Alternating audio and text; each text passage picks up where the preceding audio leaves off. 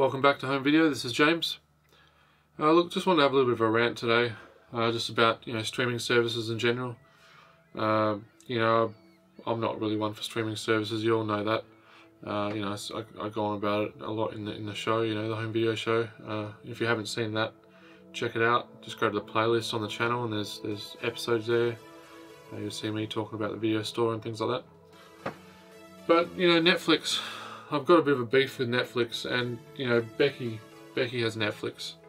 Uh, I don't pay for it, you know, but I check it out every now and then just to see what's on it. I've got a few gripes. I mean, first off, the TV shows are very generic um, in the way that they are they are set up. Uh, they, you know, the documentaries, uh, just the the TV episodes of shows, they're all the same. They all go through the same formula. You know, nobody tries to do anything different. They just keep inside their little box and they just do carbon copy repeats of you know of shows and that because they know that it works. You know they've got their blueprint, they've got their layouts, and they just follow that formula. And it's really, I find it really stale.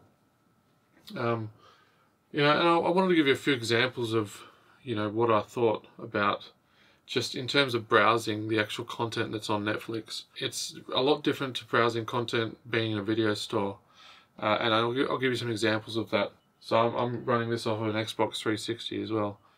Uh, you know, it's kind of old school, but you know, that's how I like to do it here. So yeah, you go down the list and this is their list. This is it. Classic movies. Uh, and then it comes to the end and it's like, okay, that's it. Right. For instance, let's just say The Godfather, right? The blurb says Michael Corleone, the war hero youngest son of a powerful New York crime boss, joins the family business when his father is targeted for assassination.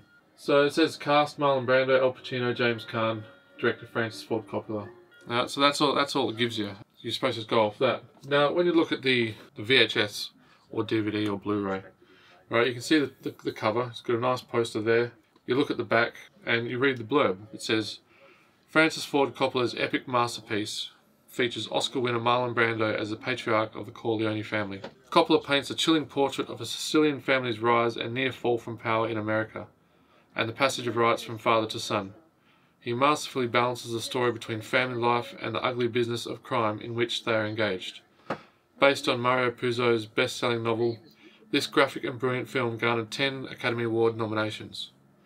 Alright, and then you look through the credits and you can see you got Marlon Brando, Al Pacino, James Caan, Robert Duvall, uh, Diane Keaton. You, see that music is scored by Nino Rota, you know, great Italian uh, composer. So you can really look at that and you can make make a better assumption as to you know what the film might be like.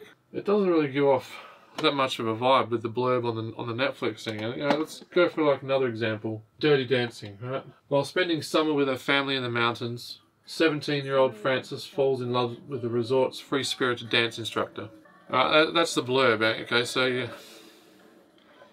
yeah, it doesn't give you much to go on, you know, but you, you pick up the VHS tape, you see Patrick Swayze, Jennifer Grey, Dirty Dancing, and you've got the uh, little tagline, first dance, first love, the time of your life. You go to the back, dancing to the beats of their hearts. Heartthrob Patrick Swayze, Jennifer Grey, and dancing sensation Cynthia Rhodes star in this electrifying and sensual film. A vivid love story, Dirty Dancing is set to pounding rhythms and vibrant dance, guaranteed to be the time of your life. It's summer 1963. Baby, 17 years old and all idealistic innocence, is vacationing with her parents in the Catskills. While exploring the resort grounds late one evening, she is drawn to the staff quarters by stirring music. There she meets Johnny, Patrick Swayze, the hotel dance instructor. As experienced in life as Baby is naive, mesmerized by the sexy beats and uninhibited movements of dirty dancing, Baby soon becomes Johnny's prize pupil in dance and in love. And then it says soundtrack albums, Dirty Dancing and more Dirty Dancing out now. So from this, I know that there's going to, it tells me that there's going to be a whole bunch of, you know, cool music in there. Uh, there's going to be a lot of dancing, a lot of kind of, there's going to be a romantic love story. It just gives you a whole lot more to go off of. By looking at the, the VHS, I'd go, okay, yeah, I'll watch that. I'll give that a go. But, you know, looking at it on Netflix, it doesn't give me much to go off of. I, would probably skip right past it to tell you the truth. You know, one more example, we'll go another one. Okay, Pulp Fiction. This stylized crime caper weaves together the stories featuring a hitman, his philosophical partner, and a washed up boxer. Now, I don't know if you've seen Pulp Fiction or not, but there's a lot more to the story than, than just that, right? So, once again, you pick up the VHS tape from the creator of True Romance and Reservoir Dogs. So, instantly, you know Tarantino. He's, uh, he's made these, these are some of the films he's made. And it's got a whole list of the cast John Travolta, Samuel L. Jackson, Uma Thurman, Harvey Keitel, Tim Roth, Amanda Plummer, Ving Rhames, Eric Stoltz, Rosanna Arquette, Christopher Walken, and Bruce Willis. You know, if that isn't enough to draw you in, right? But then it says winner Best Picture 1994 Cannes Film Festival. R18 plus, high level coarse language, medium level violence, drug use. And it's got Emma Thurman on, on the front with a gun and a cigarette in her hand. You know, it's like, if that doesn't draw you in, I don't know what, what will, you know? You know, you look at the poster on the front there, it's just the poster with her. There's none of this going on to entice you in. You never have to see another movie after Pulp Fiction. Quentin Tarantino, the creator of the lethal thrillers True Romance and Reservoir Dogs, returns with his most scintillating piece yet, a pure adrenaline rush guaranteed to leave you gasping. Boasting a stellar cast including, oh yeah, we went through all that. This Best Picture winner at the Cannes Film Festival and Academy Award winner for Best Original Screenplay is one exhilarating ride from start to finish. We dare you to step aboard. And then there's some quotes. Indisputably great. Ferocious fun. The action sizzles. Uh, tremendous fun. Stunning. Daring. Triumphant. The New York Times. You won't know the facts until you see the fiction. And so then you read through the, you know, the, the credits at the bottom and you'll see that there's, uh, you know, you got all the names on there. Uh, executive producer Danny DeVito, which is kind of weird. You know, I'm sold off of this. I'm, I'm sold off of the VHS tape and reading it, the front and the back. I would rent this out, or I'd watch it. You know, I've seen it before, but if I hadn't seen it, I would watch this. Looking at this, it doesn't give me much to go off, and I, and I probably would skip past it. That, that's that's really a, an issue that I have. Let's say you search just some other some movies that you think you might like to watch. So let's let's try, you know, the Truman Show. So you put in the Truman Show and it's got the Truman Show there, but nothing comes up. Now let's try Speed.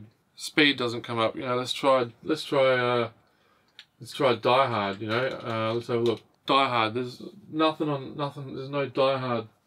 You know, let's try Bruce Willis. And we've got Tears of the Sun, Perfect Stranger, and Hudson Hawk. You know, his his his classics. You know, there is these memorable films. Those ones, very memorable films by Bruce Willis. There. Don't worry about, you know, the Sixth Sense. Uh, don't worry about any of the diehards. You know, you don't need any of that. Oh, wait a minute. Cosmic Sin. Uh, I'd never heard of that. And, you know, with the Godfathers, they had Godfather number one, but they didn't have any of the sequels. No, so they've got Terminator Genisys. One film. One film with Michael Keaton. One it's called Worth. I've never even heard of this. Michael Keaton stars as a lawyer appointed to compensate the families of September 11 victims in this poignant film based on Kenneth Feinberg's memoir. So once again, it doesn't give me much to go on. Never heard of it. Maybe if I was to read you know, a DVD of it, read the blurb on the back, and that maybe I might want to watch it. Nothing's making me want to, to click on that. No Beetlejuice, no Batman, Multiplicity. Uh, I mean, what was in Dumbo? Well, that's Disney once again. Disney have taken everything. Obviously, there's you know, no Disney on here or anything. They've got their own thing going. And I'm not going into, you know, Amazon or um, Tubi or Apple, Stan, you know, I'm just focusing this one on Netflix, just just to keep things simple. I mean, there are some there are some things on here where you're kind of like, yeah, I'll give that a go, maybe. But most of the time, you turn it off after five five ten minutes. You know, the selection is just quite quite dismal, really. Okay, let's put in Steven Spielberg. We'll see what comes up with Steven Spielberg. Uh, you know, he's made a bunch of movies. You know, he's been quite prolific in his career. Out of Steven Spielberg's filmography, there's five films there. Let's try. I mean, who else? Um, Let's go. Let's go. Alfred Hitchcock. I mean, I think he maybe had like sixty films, something like that. So absolutely nothing by Alfred Hitchcock.